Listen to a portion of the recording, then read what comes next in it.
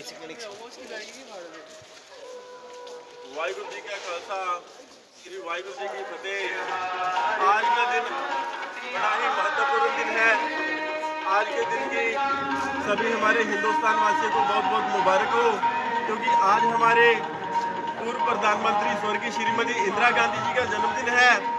तो हम अपने शहीदों की धरती पे जलियावाले बाग के बाहर श्रीमती गांधी जी का शहीदी स्मारक पे जन्मदिन मना रहे हैं और सभी देशवासियों को मुबारकबाद देते हैं।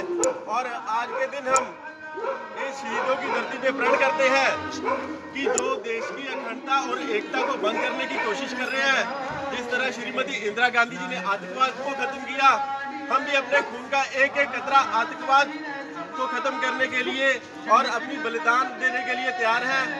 और